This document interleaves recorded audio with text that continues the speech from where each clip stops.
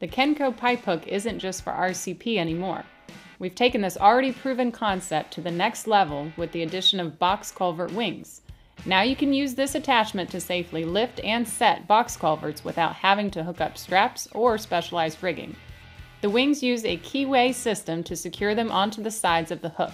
They can be slipped on and off easily so you can switch from box culvert to RCP operations in just seconds.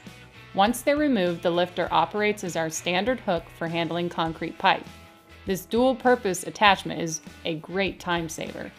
If you already own a pipe hook, we have an optional weld on kit available, or you can order your new pipe hook pre equipped.